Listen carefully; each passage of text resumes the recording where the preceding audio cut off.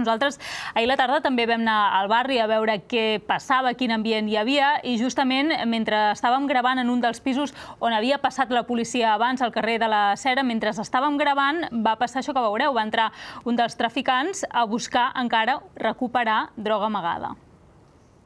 Un dels que estava aquí en el narcopís ens ha demanat si podia entrar un moment a recollir uns efectes personals seus i hem vist com m'agafava una borsa d'uns 200 grams de droga que ha tret de nul d'on hi havia una llum i després ha anat a l'habitació i n'ha tret una altra i ho ha embolicat amb una manta i ha marxat. O sigui que encara quedava droga aquí al pis déu nhi doncs avui hem volgut convidar el Manel Ginés, que ara veiem en aquest reportatge, que és president de, de l'escala d'aquest edifici del carrer de la Cera. Manel, bona nit, gràcies per venir, Bàsics. Gràcies. I també l'Àngel Cordero d'Acció Raval, que també ha vingut altres vegades, que és una de les entitats que denuncia tossudament el problema dels narcopisos. Bona nit també, gràcies per venir. Bona nit. Comencem pel Manel. Uh, sorprenent el que va passar ahir. Coneixíeu la persona que va entrar a recuperar encara aquestes bosses de sí. droga, tot i que els Mossos havien, hi havien anat i havien escorcollat el pis, no? Sí, sí, els Mossos estava van escorcollar, el pis estava, vull dir, completament, vull dir, veies tot, tot obert, tot remenat, vull dir, van trobar drogues eh, darrere d'endolls, etc i també van mirant el fals sostre, però just en una cantonada que hi havia una llum, doncs suposo que allà no, no van mirar, no? I el, la persona aquesta sí, la coneixíem perquè és dels que doncs, portava clients i estava allà a l'escala i això, que ens va demanar, diu, mira, és que tinc que dormir al carrer aquesta nit, puc agafar quatre coses personals meves per, ja que no tinc on dormir. Que li vam dir, bueno, va, passa, no?, perquè a veure, són persones sí, humanes, sí. i de cop veiem que es pugen al sofà, eh, treu una llum, posa la mà i, i un paquet així de droga, ens hem quedat a dir, mm, això és personal, i va anar, va agafar sí que una manta i algú més, ho va embolicar i Clar, sorprèn la impunitat, no? De... No feia ni, ni, ni cinc Res. hores que havia marxat la, la policia menys, menys, i estaven tornant allà. Els Mossos van estar allà fins quasi les 3 i ell va vindre a res, feia una hora que havia marxat la policia. Una altra de les coses que, que sorprèn és la feina que veu tenir la comunitat de veïns perquè eh, veu decidir tapiar i veu decidir fer-ho vosaltres, encara que després no sé si el banc o l'Ajuntament us retornarà els diners, però veu decidir afrontar vosaltres les obres per tancar i evitar que ningú s'hi posés i fins i tot les tasques de neteja, no? de treure coses de la nevera perquè no es fessin malbé, etc. Clar, correcte. Jo com a president el primer que vaig fer parlar amb l'administradora de dir, a veure, mm, la policia ens està dient, si no tanquem el pis, eh, aquí tornaran a entrar. Aleshores al banc portàvem setmanes enviant-los mails perquè la policia ens deia de que el judici del pis aquest en breu sortiria i, i que estiguéssim preparats per... I clar, però hem de tindre el permís del propietari del pis, que és el banc, i al veure que no contestava, l'administrador Torna ens va dir no puc enviar-te ningú perquè estaríem fent un frau de llei i ens podien denunciar nosaltres per ocupació indeguda. Que vam parlar als veïns i vam dir, a veure, mm, o fem guàrdies aquí o el tapiem.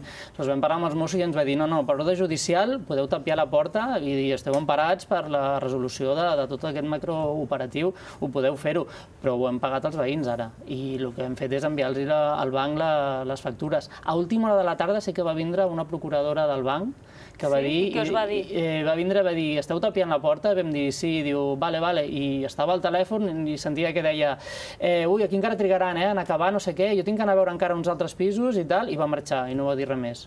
O sigui que era una procuradora que potser anava veient alguns dels pisos eh, on s'hi havia fet la intervenció mhm. policial, mm -hmm. però no us va prestar cap tipus de cap suport. Cap tipus de suport ni, ni res. Jo intentava parlar amb ella, estava al telèfon i per dir-li, bueno, això com ho farem i tal, i no, no, bueno, aquí encara us queda molt, val, doncs eh, adeu. I, I va marxar. Déu-n'hi-do. A més a més, amb les condicions que, que del pis, no? amb xeringues i amb material Clar, perillós, perillós sí. que això s'ha quedat allà dins perquè s'ha tapiat i... I allà està, vull dir, el que vam fer és tot el que era menjar, vam mirar la nevera que hi havia coses, perquè clar, com allò es quedava tancat, vam dir, home, doncs vam agafar guants, bosses de bessura i el més que vam trobar així que poguéssim tocar ho, ho vam anar a llançar-ho, perquè clar, a veure, allò es queda tancat. I, clar, tampoc us costa començar a fer una pudor que, que els veïns no, no puguem viure amb normalitat, no? Fins i tot vosaltres eh, allò veu desenvolupar l'ingeni veu posar un cartell eh, sí. que posava narcopis clausurat perquè ningú més us molestés ni... Molestés ni això, és que vam estar com un parell d'hores al carrer eh, mentre un cop ja havien fet fora tothom i, i estàvem esperant que enviessin els paletes i com una vintena de persones van passar i venien i els dèiem no, no, està tancat, eh, han clausurat aquest narcopis, no podeu comprar. Al final vam dir, si posem un cartell per avisar de que no... I vaig parlar amb els Mossos, dic, si poso un cartell, em diu, sí, sí, cap problema, endavant, i mira, ha sortit a diversos mitjans de comunicació dient, ei, narcopis, tercer, primera, cerrado. Ha servit? I sí, sí, sí, vull dir, aquesta nit, eh, almenys, mm, clar, també vam desconnectar l'interfono del pis aquell, vull dir que si han anat picant tampoc ho hem sentit durant que el vespre. tenia algun sistema també enginyós, no, Tenien, aquest pis? tenien una càmera en el balcó del pis que enfocava al carrer. I aleshores, quan tu t'acostaves a la porta, ells mateixos t'obrien. Obrien i aleshores la gent pujava. Vull dir que no, inclús no feia falta ni que piquessis. sigui, tenien videovigilància tenia pròpia, videovigilància, no? sí. I la policia va dir que, mm, que, que, que van, quan van fer l'escorcoll, que havien trobat poca quantitat de droga per lo que era el que es feia i que suposo que els deurien veure i per, pel vàter i això, perquè es van trobar que hi havia aigua i això, doncs no estranyaria que part de la, Droga la droga l'haguessin llançat perquè, clar, és que tenia aquest sistema de videovigilància. Àngel, com està el barri 24 hores després del macrodispositiu? Quin ambient hi ha? Bueno, pues aún estamos valorando, pero lo que sí que podemos decir es que, bueno, que los puntos de venta de droga que han quedado, que algunos de ellos ya llevan mucho tiempo, es el caso de Vista Alegre, cuatro años, y el caso de Riereta, eh, 13, que lleva dos años, eh, pues eh, se ve más afluencia de personas, no solamente en estos en concreto, sino en, en otros, ¿no? Por ejemplo, lo hemos visto antes en Cardona 8, en, en Joaquín Costa, por ejemplo. Y bueno, y lo que hemos visto también ha sido unos cuantos, unas cuantas personas intentando mirar a ver si pueden reocupar algo. Esto es lo que, lo que nos estamos encontrando. Eh, aún Aquest matí tornaven a haver-hi intents de buscar pisos buits i per intentar Sí. ocupar? Sí, sí, sí. Perquè ha- això va passar ahir, justament després de l'operació policial. Fins i tot la regidora Galapín aquí ho, ho reconeixia. Sí, ha habido algún aviso, algún aviso. De hecho, pues en Vaidoncella 50 han sido los vecinos que se han tenido que poner exactamente igual que ellos, dado que, que bueno, que como hemos venido denunciando desde estos dos últimos años, eh, el que exista tanto narcopiso es por la por la falta de preocupación que tienen eh, estos propietarios que tienen su- sus viviendas y sus locales destinadas a, la especulación. Por eso desde Axio Raval creemos que es importante que se empiece a valorar la posibilidad de, de- de poder imputar a, a estos propietarios como colaboradores necesarios para, para este acto delictivo. Els bancs i grans tenidors. Correcto. Y pequeños propietarios que nos hacen responsables. Aquí entra todo el mundo. A la vez que hay propietarios, pequeños propietarios que sí se hacen responsables, que denuncian desde el minuto uno, que tienen conocimiento, que acuden a las plataformas, porque los hay, eh, estos quedarían exentos porque, porque hacen lo que tienen que hacer. Han ocupado el piso, están, están traficando, mm, más no pueden hacer. Pero estos grandes tenedores que, que saben que tienen pisos vacíos, que saben que, que, que, bueno, que hay una preocupación en el barrio y no han hecho nada durante estos dos años, creo que es tiempo suficiente como para decirles mm, no puede ser. En este caso estábamos hablando de, en su caso es, es Solvia, que, que es Banda Sabadell, eh, en el caso de San Climente con el candado es Bankia, Bankia. en el caso de, de Vaidoncella, BBVA, detrás de todo esto hay es totalmente un despropósito. Clar, perquè els veïns us deveu sentir gairebé com un... molt desemparats, no? Amb això, no sé si havíeu tingut, en aquests dos anys, si heu tingut algun tipus de contacte amb el banc o els heu intentat uh, Ah. explicar el que passava en el seu pis? No, un cop el, el banc es va quedar al pis, sí que primer van ser les negociacions, perquè clar, l'antic- l'antiga persona, jo, quan vaig vindre a viure, estaven en negociacions amb el banc, perquè clar, el banc s'havia quedat al pis i clar, hi havia totes les despeses de les comunitats, i es va arribar a una negociació ens van pagar, perquè ells per llei poden pagar, no sé, recordo, són dos anys, estan obligats, o mm. uns anys endarrere s'han de fer càrrec, però que no tota la deuta històrica no? que, que tenia aquell pis, i allà vam tindre contacte amb el banc. A partir d'allà van començar a vindre ocupes, mmm, no feien res, i aquest Nadal sí que van fer fora els, uns ocupes que hi havia, que era una, una noia, eh, que era una infermera d'ucraniana, eh, que no donava cap problema, nosaltres amb ells, pues, pues, a veure, no tenia casa, estava allà, buscava feina, al final va trobar feina pels matins, vull dir que... I van vindre al Nadal i la van fer fora, i van, van posar una porta d'aquestes de seguretat, Sí. I unes setmanes més tard, els que ara estaven al narcopís van arrencar la porta i van entrar, i des d'allà vam començar amb el banc perquè es van connectar a l'aigua, mm, van estar mm, mesos amb gotejant, i com el pis de sota també era un pis ocupa, eh, posaven simplement eh, pots perquè l'aigua que anava caient l'anaven emmagatzemant, però clar, aquelles vigues són de fusta. Quan el, pis, el propietari de baix, després d'any i mig de litigi, es va poder recuperar el seu pis, vam veure que les vigues es queien. Aleshores vam tindre que canviar per vigues de ferro, que hem pagat els veïns, eh, les reparacions de l'aigua i això, perquè deixés de votar, això que hem pagat els veïns, i ara estem darrere del banc de dir, bueno, és que tot això ho ha provocat el teu pis. Mm. I, I així estem lluitant. Sí, nos suena esta manera de, de operar, donde, donde habían ocupas, pues han llegado estas mafias, de alguna manera les hacen comprar el, la vivienda o bien lo sacan de allí directamente y se la apropian. Uh -huh. Esa es lo que ha sucedido en, estos últimos meses. También queremos decir que, que en el Raval tenemos otro tipo de problemas que son los desahucios. Estos desahucios a las familias también dejan viviendas vacías y también abonan el terreno para que estas gentes puedan actuar. Entonces, por eso recalcamos que, que todas les medides que s'estan tomando, por ejemplo, el tapiar és una medida. Això és el que anava a preguntar, perquè, clar, ara tu deies, van instal·lar una porta d'aquestes que es diuen antiocupes i la van, la van arrencar. Clar, ara s'han tapiat aquests pisos, però no sé si teniu por que d'aquí una setmana, si no hi ha vida en aquells pisos o no s'hi ha fet res més, aquests, aquestes mesures preventives com tapiar alguna porta no hagin servit de res. Teniu aquesta, aquesta por vosaltres? Bueno, eh, eh, miedo no, es un hecho, ya ha sucedido antes. O sea, sabemos que, el tapiado eh, a corto o largo plazo pues suelen entrar, no en todos evidentemente, pero en aquellos que, a lo mejor la actividad vecinal no sea tan fuerte, pues igual, porque si tapias en un sitio que están avisados los vecinos y, y se activan en cuanto intentan ocupar, pues se puede hacer algo.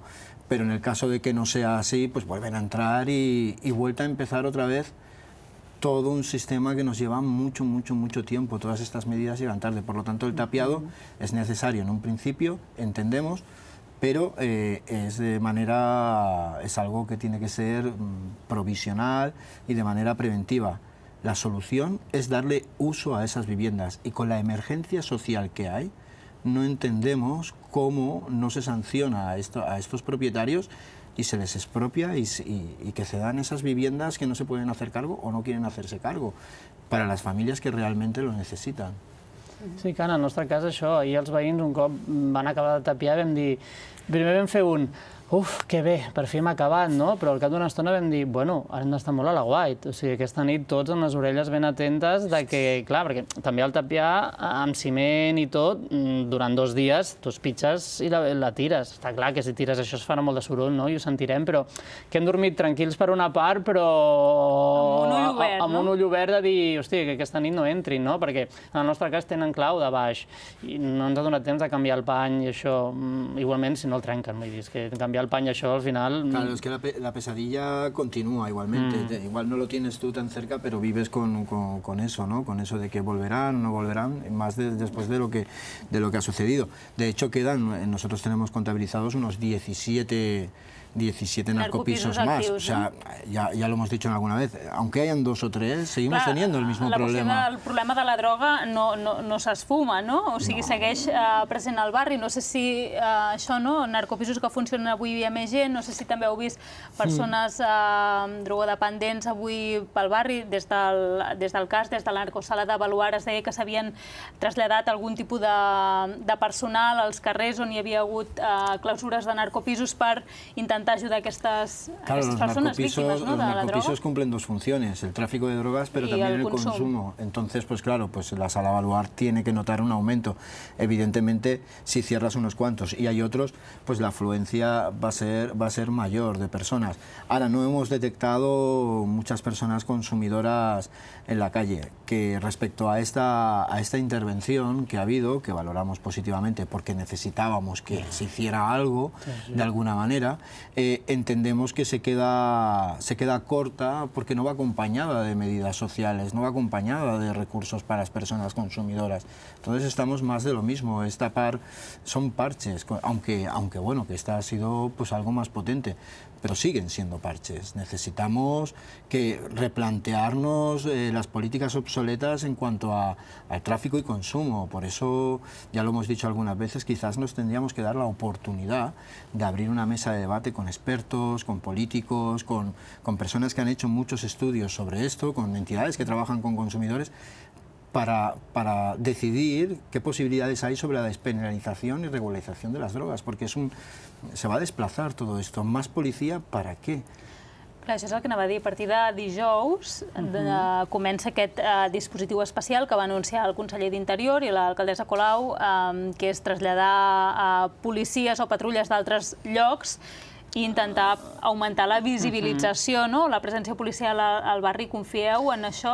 A veure, clar, els, els veïns som una mica, tothom en el fons és una mica egoista, no? Nosaltres dèiem, oi que bé, ens han tret el narcopís de, del nostre blog, però pensaves, bueno, aquesta gent anirà a algun altre lloc, perquè nosaltres, quan van tancar l'edifici d'edició 62, nosaltres vam notar un boom de gent que va començar a vindre al nostre, que hi havia gent, però al, al tancar aquell gran narcopís, allò, al dia 40-50 persones, quan abans pues, eren 20, 25, vull dir, es va doblar el consum, no? I pensem, mm. vale, ara que se'ns han tancat el nostre, diem, oi que bé, egoistament per nosaltres, que dormirem per les nits tranquils, però aquesta gent anirà a algun lloc, no? Aleshores, si penses una mica amb el barri, dius, vale, més policies, però bueno, i aquesta gent on anirà? Claro, tiene que, todo tiene que ir dotado de, de, de otras medidas. No solo todo mm. puede ser la, la, las medidas policiales, porque no tiene mucho sentido. Simplemente es, es presión, represión y se desplaza, como ha sucedido desde los años 90. Había en el Raval, en su día se desplazaron a, a, la zona franca, Cantunis, de ahí a la mina, de la mina, y ha sido siempre, se ha ido moviendo.